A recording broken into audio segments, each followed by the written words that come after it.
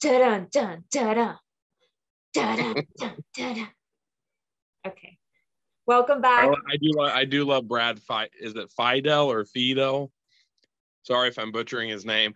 I do love his music. It is so good. Okay, welcome back to the Awakening Film and TV podcast. Welcome back, Dustin, my brother. Today we are talking about the Terminator movies, specifically focusing on Terminator 2, Judgment Day, but also the first one, Terminator, uh, because these are the ones that we grew up with as kids and um, that we really truly love. They have a special place in our hearts, at least in my heart. Dustin, did you want to introduce yourself again and share anything about Terminator? Sure. Thank you, Kristin. It's great to be back on your show. I think a lot of people are going to be familiar with Terminator um, as well. So anyway, uh, I'm uh, Dustin Mothersball, the older brother of this half here that you all are watching, and um, we both loved films growing up and acting. I think acting is more your thing than it is mine. I do very much enjoy it. Um, I like I like I like history, and so film history. It's a more recent history. So, um, so a lot of the the standard canon greats are are what I enjoy. It's beautiful, Dustin. Thank you. and we're matching. You're today. welcome. We got such a brosis connection with our shirts. Process, yeah. Yes. Mine's ugly and less palatable, but it's more fluorescent. You're beautiful and bright. Anyway, um, Okay. Anyway. oh, thank you. comfortable here for, for, for my beauty to be comfortable. Okay. Uh, I mean, we probably saw the term the first two Terminator films when we were too young. yeah. Uh, I know there's like a nude scene in the first one. There's a lot of violence and gore in both of them. A lot of language issues, but um, despite all of that, uh, relative pizzazz to make it kind of exciting for a 90s, eight, late 80s and early 90s audience. I think there actually is something artful that James Cameron was trying to do there in a different way than like some of his later works. Um, the Abyss, I think, being the best. I'm really not a fan of almost anything after True Lies, which is more of a comedy with Schwarzenegger too. But uh, I, I think for me, like Titanic, uh, beautiful production value. We'll have to talk about that on here one day. So good.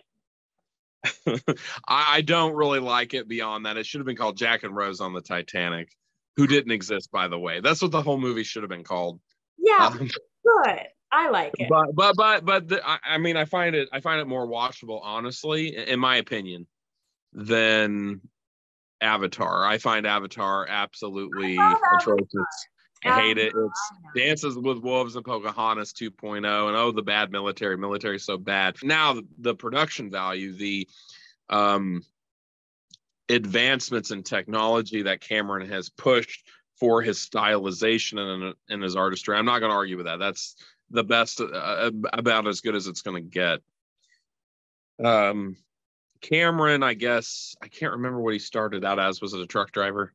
And then he started developing the story of Terminator, and uh, he actually did sketches for the first Terminator back when, when it was much more modest budget. Obviously, when you look at the first movie, and like his artwork, his illustration work is phenomenal, actually.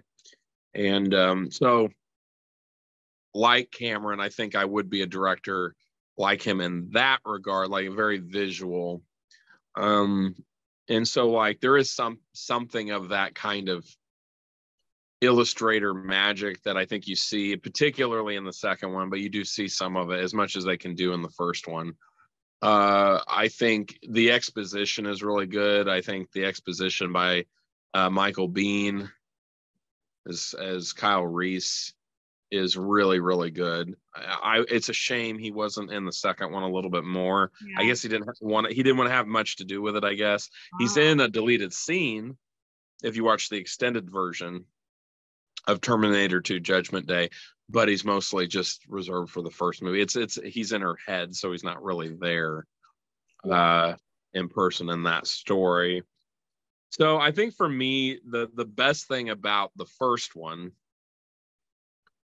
really is Kyle Reese. And then like the segue of how I think it works well from one to two is that evolution, that arc that we don't see in between both films with Linda Hamilton's character. Um, where she's more of this novice and then she gets trained and she becomes efficient you know was whereas like at the beginning like there there's not no efficiency. There's that boy that dumps that like ice cream when she's a waitress into her her little uh apron and and then the guy that she spilled coffee on or whatever it was said nice going kid. I should have given you the tip. You know and there's that other line that always rings when she's talking to reese. She's like you're talking about things in the past tense that i haven't even done yet. Like i can't even balance my checkbook and so like just to see that to see to see like this positive story in some i think she gets more cynical and scared which isn't good and she tries to overcome that by the end of the second movie so there is another mini arc which in some ways is more important mm. in the second movie but like to see her um, become more conscientious more conscious like my life has a lot of meaning and i thought it was just this little you know girl that it, it didn't matter and like her friend what does ginger say? Uh such a such a sensory such a sensory personality.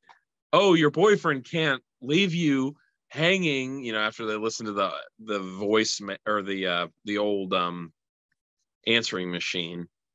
It's friday night for christ's sake and it's like, oh my God, there's bigger things than just partying on Friday night, but whatever. Yeah. yeah. like, well, I did. I don't want Gin, Gin, I didn't want Ginger to die, but not really a very unthinking, unconscious, early uh friendship, you know, kind of character. Not like her friends at the southern border in the second one, where there's this like, there's this economic and and political stress probably on those type of individuals and just trying to make um, more of a difference, I guess. And and I mean, yes, there it is about survival, but there still is more of an awareness. It's not just like an animalistic survival. Um, so I appreciate that about those characters. The the villains you don't really get to know that much, but they do try to make the machine the T800, the Arnold character in the second one, when he's reprogrammed from being bad to being good, they do try to make him more like he he's learning and adapting to working with John to more of a human experience. And like the, the last line is a great line. What what is it that she says? It's Sarah when she's narrating and it's just showing the road and it says something like if the if the T800 can learn the value of human life, maybe we can too. Oh. And so like there's a lot of the there's a lot of there is a lot of philosophical undertones in the movies. Um and actually I can't find the book. I was gonna look for it, I was gonna share it. I think because I'm cleaning out books. I'm not a fan of Jean-Paul Sartre, the continental philosopher. But he wrote something or he said something like, and I'm paraphrasing it here, like man is nothing uh, man is nothing but that which he makes of himself and it's very similar to the fate line. The um what is it? The future is not set. There's no fate but what we make for ourselves. So it sounds a lot like that. And he actually brings up machines. He calls them uh, articles of manufacture. In his book um he, what is it? Uh existentialism and oh i can't i can't remember which book it was actually now that i think about it it might have been the is the new human humanism or something. It might have been that book. I think that because that's the one i've got. And so he talks about can machines actually um have freedom you know and and things like that. Um or is it you know are like we we as humans have the god complex and can we grant something like freedom to something that's artificial? And of course you look at like what like kurzweil has been writing for a while about the singularity that uh, you know machines have consciousness um, or that that at some point they're going to become self-aware, and that that's how they that's how these uh, transhumanists, which I don't agree with their philosophy, I don't think you can truly do it, and if you can, that's what this movie's here for. Like this is a warning, like don't do that. That's exactly. I mean, not that's going to happen this way per se, but it's dangerous. Um, I don't think we can grant legitimate freedom like um like you know the cyberdyne systems and then i forget the, the the conglomerates that come afterwards in the story. Um i do think there might be well-meaning people like miles bennett dyson which um that's a great performance uh by i actually forget his name but it's his best performance. Um and so there, there is a lot basically in the story about free will. Um I, I mean i think it talks about I, I mean it obviously is saying if the future is not set then there's no obviously James Cameron and who who was it was it William Wisher the second? I think helped co-write the second Terminator. Um, they obviously are coming from a philosophical presupposition that uh, there's no fatalism, which I think there actually is some. I just don't know to what extent. So I'd say the answer is probably somewhere in the middle for me. But anyway, other than that, like the I love the I think most of the acting is really good. I mean, for Arnold, I think it's some of Arnold's best acting. Uh, but I mean, he's robotic anyways. So, and then um, Robert Patrick was great. Edward Furlong was really good and I I think that um, there's some interesting character studies. I think the plot is pretty good. The second movie I think is that should be the standard between practical and and visual effects. Almost, I think it I think it actually fares just a little bit better, and it might be the nature of the effects uh, than Jurassic Park, the first one. But um, Industrial Light and Magic did a great job, and so good. Uh, Stan with Stan Winston as well, who did the practical. So I uh I think for me, what really I mean the action sequences are fantastic, but for me, those movies that's why I don't like the second one. It's very much about the style and the tone and like that fine line between like it and it, it's I think it is the epitome of where fantasy meets science fiction yeah. Especially with, especially with the T1000. So anyway, I'm I'm just going to sum that up there, but those are just some of my general thoughts. Yeah. Ooh, you brought up some really good ones that uh, we'll delve into. And I didn't mean to jump so much on the philosophical stuff yet, but I just yeah. got excited because it is very there is a philosophical tone to it. Yeah, which is what I think we love about it. Because as you can see, my brother has um, many many philosophy books. yeah, I mean, a lot of these are religious books here I am weeding out a lot of the the philosophy ones, but uh, I, I like more traditional philosophy, anyways. That is more compatible with religious uh, theosophy. So, yes, anyway, but yes. So, right. what about you? Like, let's. Well, what what what are your takeaways from Terminator movies. and I know we're kind of excluding all the other sequels. We're just looking at one well, two. I wanted but... to focus on the second one, Judgment Day, but I know sometimes it's kind of lumped in with the first one, which is why we can talk mm-hmm. about that too. But the second one is the one that like is like burned in my psyche from childhood in a good way because we watched it so much, like so much more than the first one. And it's like just deeply embedded in me. so that's the one I wanted to focus on. But we could talk about the other one some other time if you want. And just before I get into like my my little takeaways, um, Dustin mentioned you mentioned basically like a lot of the people that were working on this, but it was a, a 1991 film. Uh, it was actually released on my birthday in oh, 91 july 3rd and miranda my wife was born in 91 so i just find that funny. Oh, that is funny. Like, uh, and the first one was made or came out in 84 so uh, it was a few years after. And um, yeah dustin already mentioned directed by james cameron who co-wrote the script with william wisher starring arnold schwarzenegger linda hamilton robert patrick and edward Furlong. And I think that Robert Patrick did such a good job. The Liquid Metal Man. It's one of his absolute best performances. One of the few things that actually has scared me in my entire life was the the CGI and his mm. acting. So phenomenal. Um, so anyway, mm. uh, it brings up those are that's just like a, a, little bit about it, but it actually did pretty darn well. It made uh, quite a bit of money, uh, and it has a huge cult following, as most people know. Um, anyway, the themes that I liked about it were um, the time travel. I, I like time travel, um, and I like that it does kind of go between this pessimism about humanity, like uh humanities are just going to destroy themselves. That's even one of the lines in uh terminator 2 it's in your it's in, it's in your nature. It's in your nature yeah. To destroy yourselves.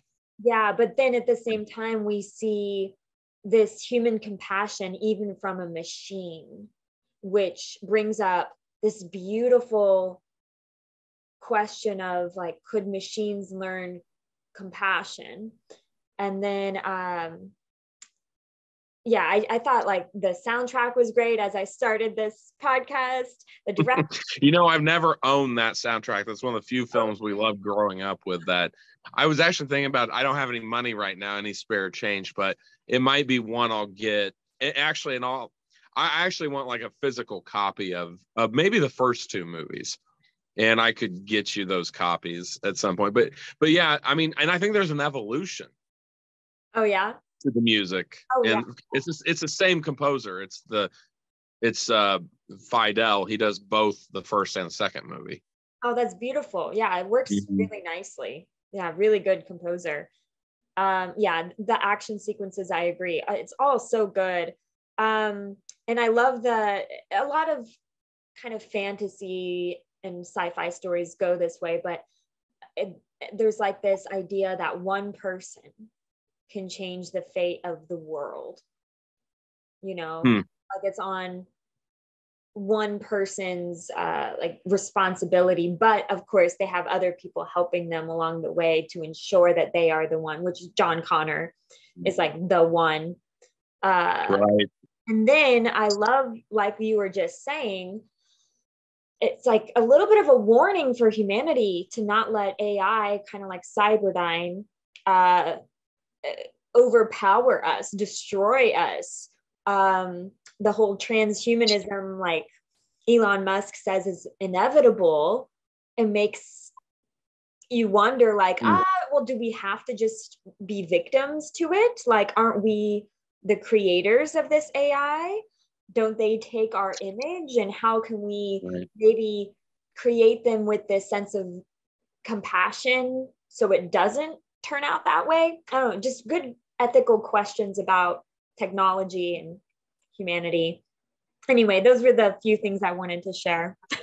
No, the, the, that's a really good point. Are there fail safes that can be put into place or uh, I'm sure that actually a lot of I wonder I I bet the singularity has already been surpassed and we just don't know about it yet. I know, I mean, cloning had been going on before. We, we always find out about it after the fact, really. Of course. Uh, I just hope that they're not um, misusing it, but I have my. Uh, I have my doubts. Um, the military industrial complex, which would be like a Cyberdyne, we know that it's it's too big, it's too great. It was already an issue, you know, in the 50s when Eisenhower gave that farewell address. So uh, I don't know. I don't know what the common person can do about it, but um, I think that I think that's why I disagree with the that overall premise of like absolute autonomy, absolute free will. I think there is a spiritual force guiding us and protecting us by and large, and um, I think we're seeing that now. So I don't think that it's going to come to that. We're like obviously like that kind of cap those many casualties. You know, Michael Biehn. What did he explain? It was um, it was defense. It was defense mainframe of computers that basically became self-aware uh, supposedly in 97. Actually, there's some interesting things about the date too. I looked up the date. So the, the date in, mentioned in the second movie, I can't remember if it's mentioned in one, but it's August 27th, 1997 or maybe or is it august 29th it was either i can't read my writing. It's either the 29th or the 27th of august. So there's been some interesting things throughout history that have happened. So in 70 ce jerusalem actually fell to rome and then um, the seven years war it also was going on um, it began in 1736 so that was like when the uh what was it the austrian in the Habsburgs were battling uh, Frederick II from Prussia because they were wanting to regain. Um, was it? I forget. Was it Siberia? I think. I could be wrong on that, but anyway, uh, Hurricane Katrina was in 2005, so that was after the fact of the movie. But the the most interesting date is just like we had the Trinity test, the atomic bomb tests here in the United States before we went to take our uh, atomic capabilities to Hiroshima and Nagasaki. Uh, the Soviet Union actually, um, on August 29th, 1949, bomb, uh, dropped the Joe 1 atomic bomb for testing in Russia. And then that's when it's like, you know, you had the, the US and the USSR kind of like nuclear mutually assured destruction if anyone tried to it's kind of what like dr strangelove was about so we knew we knew that the soviets had the those nuclear capabilities and so it was kind of like terminator in some sense is kind of a continuance of that tradition that cold war tradition um, when does it stop being a cold war and will we off all of ourselves in which case you know, it's like years after the rubble that Kyle Reese said he was born and he was raised to kind of, it was survival. And like he talks about the early Terminators would pinpoint people that were marked for termination, as he put it. Um, and they were easier to spot because like the, the 600 models, I think it was, had like rubber faces and stuff, but then they became cyborg, cybernetic organisms, where it's like the actual fusion. It's a Frankenstein. It's a fusion where the organic matter is on the surface. Right. Uh, so it's it's it. I mean, Ar- Arnold is terrifying in that movie, and like the like when that janitor's cleaning up, and he's already been shot up, and he's cut into his you know arm, and he's cut into the eye that got shot up, and they're like, "Was that a dead cat in there, buddy?" You know, it's like the smell, like the the part of him was rotting up, but like being said, he will not stop. He doesn't feel pity or remorse or fear, and he's not going to stop until you're dead. Yeah. And so, like, it's just this unrelentless. It's almost, and you could almost take it like Michael Myers actually in Halloween, which is just referred to as the shape in Carpenter's script for Halloween. It's fate. Remember, there, uh, whenever Laurie's in the classroom, Laurie Strode, the Jamie Lee Curtis character, is in the classroom. They're talking about oh who who who is it that they're referring to? I can't remember the writer, but like fate is immovable like a mountain. It never changes. It's not it's unstoppable. And like you know, it's almost like the T800 or even the T1000. They're like that. It's like this massive it's like they keep fighting it off and they can slow it down, but it keeps coming back.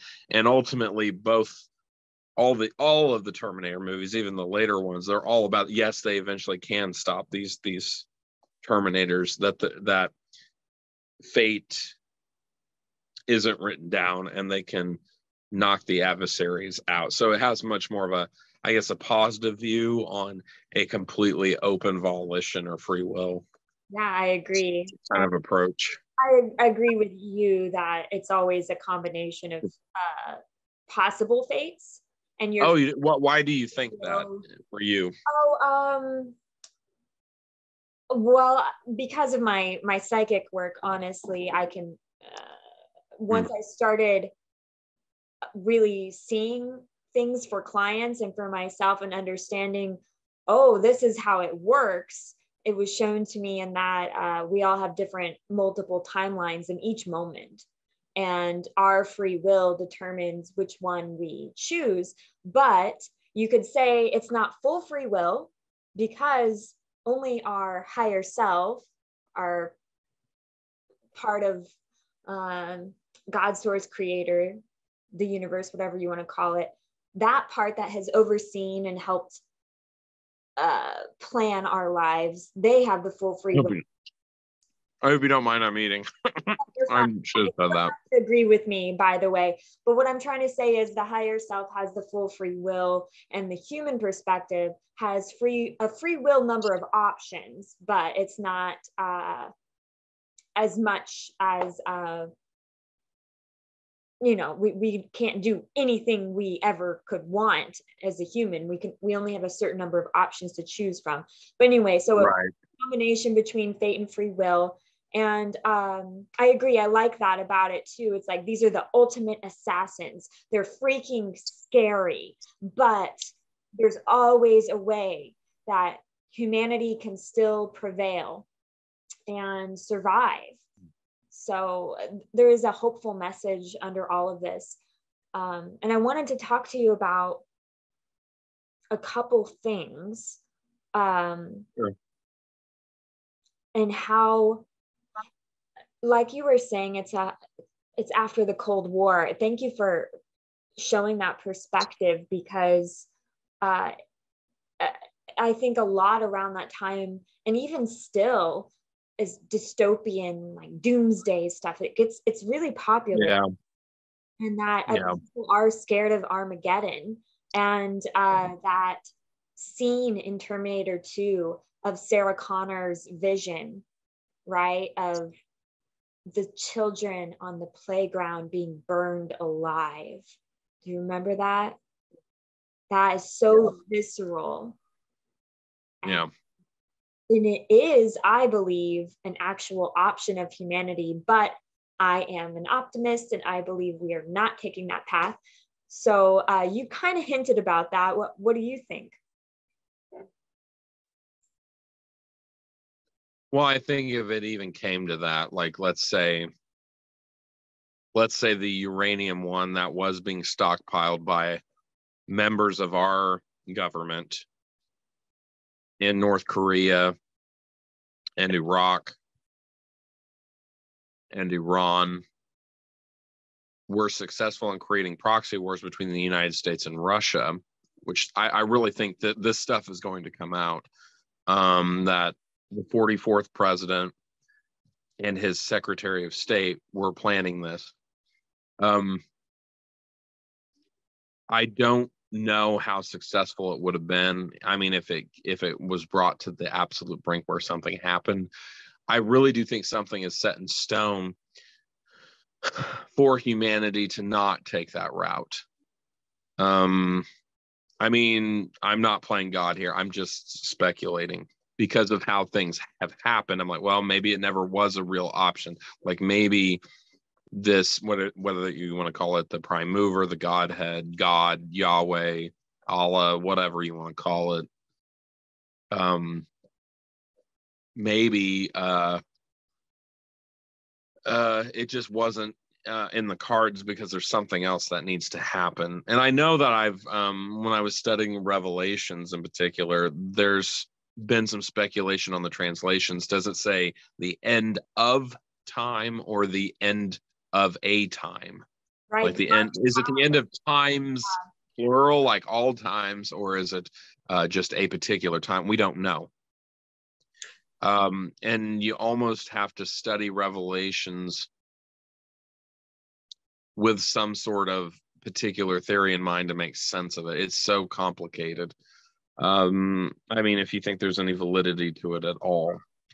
So, um, but anyway, going back to it, I, I think that the ultimate message is optimistic that we can come, we can overcome whatever kind of hell that is brought on us by something out of our control or by ourselves even um, and that it can be fixed the Miles Bennett Dyson character is a really tragic figure.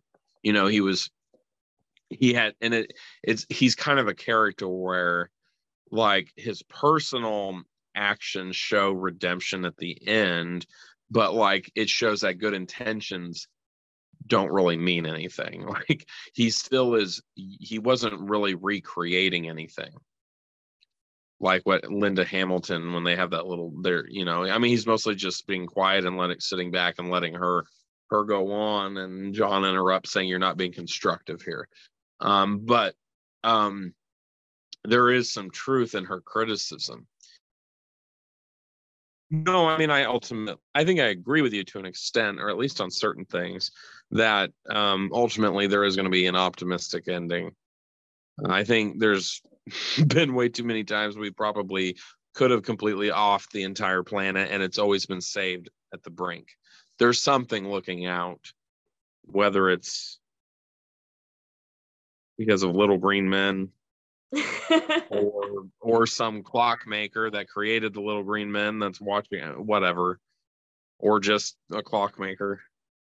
I, I don't know like i mean we don't know but eh, there does seem to be something that's protecting us and i think it's not to keep using us i think it's probably i i would say it's the ultimate creator that there's there's got to be like like it's out of the goodness for its own sake to keep us alive. Um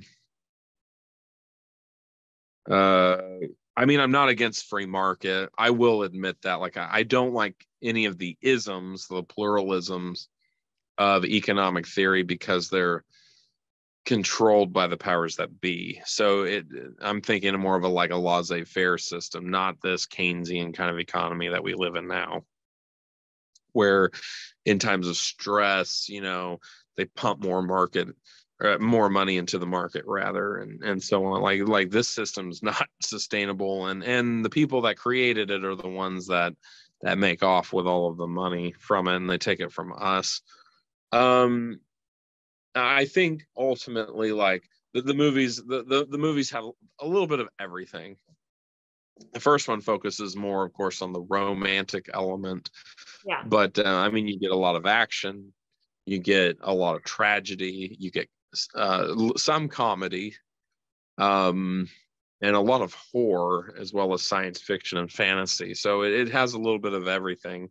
Yeah. Um, for everyone, and I don't think any of the sequels have come close in quality, really, of the first two, but particularly the second. Like they just keep the stories go, oh well, you changed, you know, the future, but you didn't stop the future of this you know man versus machine war basically. So i mean that that's you can tell they're making them just to make a buck. Like i don't think they're really great works of art. Uh the first two might be. They're, they're pretty close. I think so. Yeah. So. I really like them. I think they're very special they're they're different than other action or science fiction movies they don't um they don't follow the same rules I mean, I mean, it, it is. It's, it's weird. It's like yeah, it's like Blade Runner meets Full Metal Jacket meets Halloween. It's and then like meets I don't know Alien or Legend or something. It's very strange, like mixture of like things, but how it's fused together in a in a really unique way. I think it's still my favorite work of Cameron's. Um, I wouldn't really call myself a Cameron fan, even though I would watch his movies. I think he's very intelligent. And there is a nostalgia to it.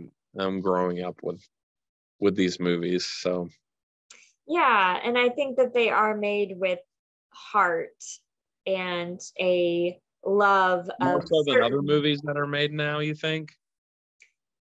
Yeah, I think there are a lot of movies, like you said, of the following sequels that seem to be more like just trying to make a buck.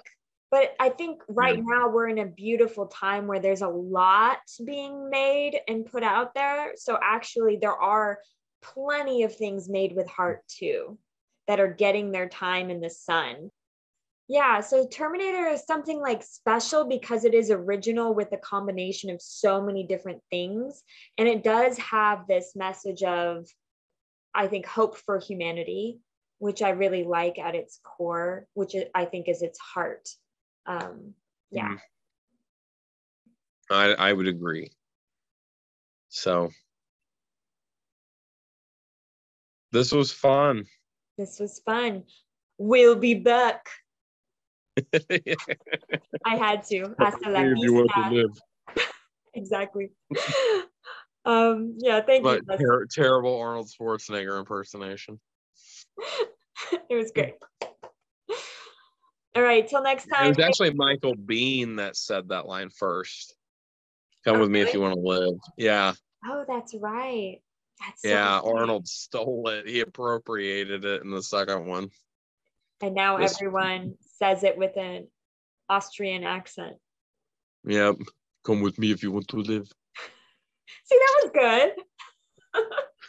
I'll be back. he does great in it. Um, I think I think it's just all really good. Production's just wonderful. Thank you for uh, chatting. It's always so good to hear all of your awesome information that you provide and your opinions. Thank you. Thank you. Thanks for inviting me back. Yeah, and thanks for whoever's listening or watching this. Um, Yes, thank you. Thank you. Hit like, please. Yeah. Subscribe. Subscribe, please. Thank you. There, I'm trying to help you out. Trying to help you out. Thank you. All right. Uh, bye bye, everyone. Thank you. Bye.